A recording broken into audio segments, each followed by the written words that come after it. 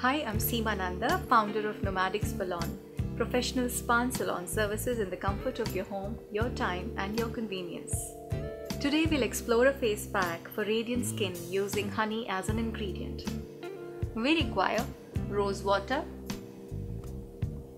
almond oil, honey, and yogurt. Take 2 teaspoons of honey, 1 teaspoon of almond oil, 1 teaspoon of rose water,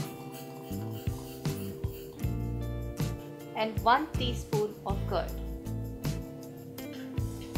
Mix it well.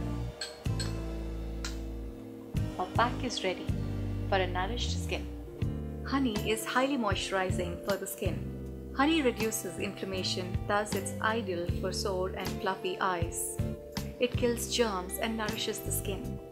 Honey can become an essential part of a great face mask if mixed with other ingredients. Apply it on your face in upward strokes.